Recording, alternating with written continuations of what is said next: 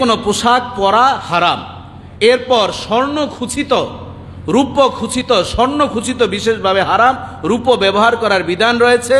স্বর্ণ এবং রেশমি কাপড়ের পরিধান করে সেই পোশাক পরিধান করা যে কোনো সময়ের জন্য হারাম। শুধু মসজিদে নয়, এবাদত গৃহে নয়, স্বর্ণের অনেক সময় বিভিন্ন ধরনের পুঁতি বা ইত্যাদি পোশাকের ভিতরে দেওয়া হয়, সেটা নারীরা পড়তে পারবে, রেশমি কাপড়ও নারীরা পড়তে পারবে, পুরুষরা পড়তে পারবে না।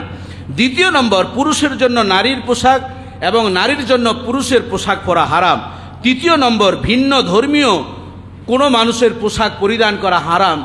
যেমনটি আমরা পয়লা বৈশাখে দেখা যায় ডোল তবলা, বিভিন্ন ধরনের ছবি, এ ধরনের অঙ্কনকৃত ছবির পোশাক আমাদের সন্তানরা, আপনাদের আপনজনরা পরে, কথা ঠিক কিনা বলেন?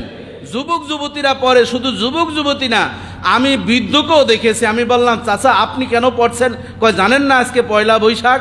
আমি তো জানি আপনি একজন নামাজি মানুষ, কয়, মন তো আর বুড়া হয় না, মন এখনও টাটকা যুবকের মতন আছে। জোরে জোরে বলেন। ঠিক আছে নাওজুবিল্লাহ বলছেন, আমি ভাবছি আবার সুবহান আল্লাহ বলেন নাকি। তো যাই হোক, এজন্য সে বিষয়টা খেয়াল রাখতে হবে। এ ধরনের পোশাক পরিধান করা, ঢোল, তবলা কি মুসলমানের সম্পদ? এটি কাদের সম্পদ? এটি সম্পূর্ণ হিন্দু আনি কৃষ্টি কালচার কথা। ঠিক কিনা বলেন? এখানে অন্য কোনো ট্যাগ লেগে টানে হেসে পয়লা বৈশাখের বিরোধিতা করছি বা এ ধরনের কোনো স্লোগান নিয়ে আসবেন না। আমার ইসলামকে, আমার ইসলামী পোশাককে রক্ষা করার জন্য আমি একজন ইসলামিক স্কলার হিসাবে, ইসলামিক স্পিকার হিসাবে এটি দায়িত্ব। না হলে আল্লাহ আমার জবানকে বন্ধ করে দিবে কথা। ঠিক কিনা বলেন? এতে যদি কেউ কোনো দিকে গা বাসিয়ে নিয়ে যান, তাতে কিছু আসে যায় না। সবসময় আমি এই মঞ্চ থেকে বলি, কাজেই বাবাজি, বন্ধুরা আমার ভালোভাবে বুঝে নেবেন। এরপর রসুলাম রেশমি পোশাকের বিষয়ে বলছেন, লা তালবিসুল হারিরা, ফাইন্নাহু মান লাবেসাহু দুনিয়া, লামি ইয়ালবাসুহু ফিল আখিরা। বুখারী শরীফের পাঁচ হাজার ছয়শো তেত্রিশ নম্বর হাদিস। আল্লাহ রাসূল বলেছেন, তোমরা হে পুরুষরা, তোমরা কখনো রেশমি কাপড় পরিধান করবে না। আর যে এই রেশমি কাপড় দুনিয়ার জমিনে পরবে পরকালে সে বস্ত্রহীন অবস্থায় আল্লাহর হাসরের ময়দানে উঠবে। জোরে জোরে বলেন, নাউজুবিল্লাহ, বিষয়টা সহজ না কঠিন? অবশ্যই কঠিন। উলঙ্গ অবস্থায় উঠবেন, তখন আপনার পরিচয় কি হবে, কে আপনাকে কি বলবে, একটু আপনি নিজে নিজে বুঝে নিন।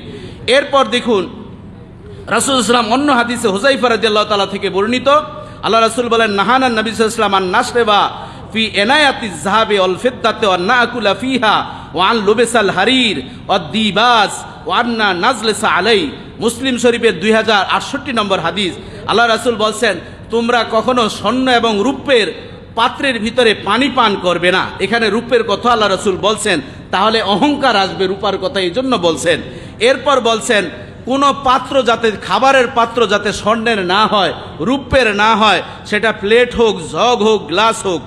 এরপর বলছেন ওয়ান লবসিল হারির এবং তোমরা এই রেশমি কাপড় থেকে নিজেদেরকে রক্ষা করো, রেশমি পোশাক থেকে আর নাজলেসা আলাই এবং রেশমি কাপড়ের পোশাক, যেই আসনটা সেটি যাতে রেশমি কাপড়ের না হয়, স্বর্ণ এবং রূপের যাতে না হয়, সেই বিষয়টি তোমরা খেয়াল রাখবে। এবার আসুন দ্রুতই